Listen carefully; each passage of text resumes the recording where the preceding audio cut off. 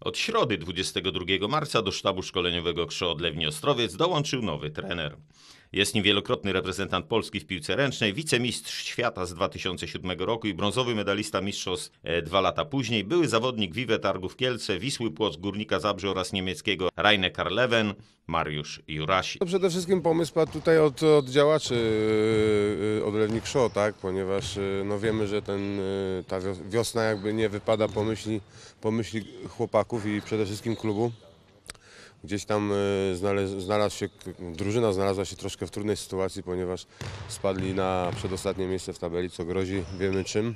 Spadkiem do drugiej ligi, a nikt by tego nie chciał. Wspólnie z Tomaszem Radowieckim mają zapewnić byt na kolejny sezon na zapleczu Superligi PGNiG ostrowieckim wojownikom. Sztuka ta w obliczu końcówki sezonu wcale nie będzie łatwa. Karol zadzwonił do mnie razem z Tomkiem i, i poprosili o spotkanie. Pogadaliśmy, że chcieliby, żebym spróbował pomóc y, drużynie, żeby utrzymać się przede wszystkim, przede wszystkim w, w tej lidze. Przemyślałem to i jestem naprawdę pewny, że, że można tą drużynę utrzymać, bo naprawdę chłopcy fajnie, fajnie grają.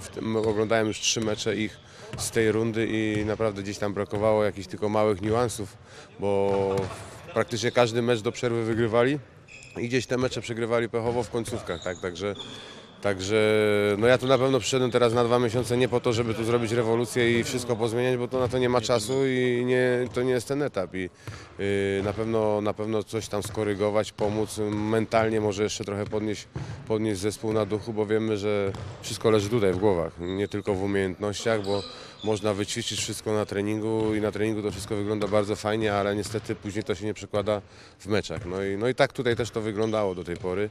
Już po pierwszych zajęciach, które poprowadził popularny Józek, były reprezentant Polski stwierdził, że w ekipie ze Świętokrzyskiej jest potencjał, który będzie chciał przełożyć na boisko ze swoimi nowymi podopiecznymi. Mam pomysł, zobaczymy, no będziemy to realizować. Dzisiaj jeszcze zobaczę jak, jak zawodnicy wyglądają przede wszystkim w defensywie, bo na wideo to wyglądało nieźle, zobaczymy dzisiaj na, na treningu. I jutro, jutro już jest stricte taki trening y, taktyczny, taktyczny przygotowujący do podmecz y, z końskimi. Zobaczymy, mam tam parę niespodzianek, y, troszkę zmienimy. Wiadomo, że już końskie też teraz i sam trener Przybylski nie wie jak się przygotowywać na, na zespół z Krzą, bo nie wie co, co będzie zmienione, co będzie zostawione. Dlatego jest to na pewno naszym atutem.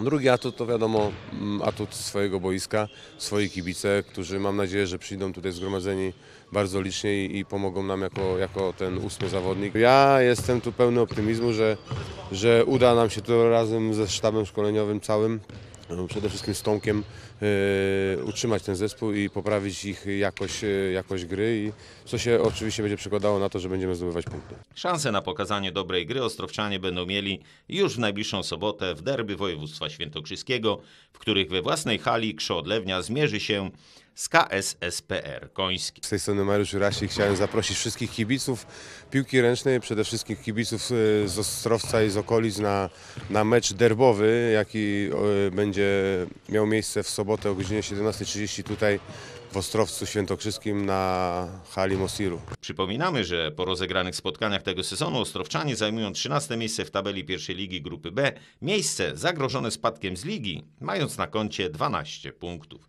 Do końca sezonu zasadniczego w tej klasie rozgrywkowej pozostało 6 serii pojedynków.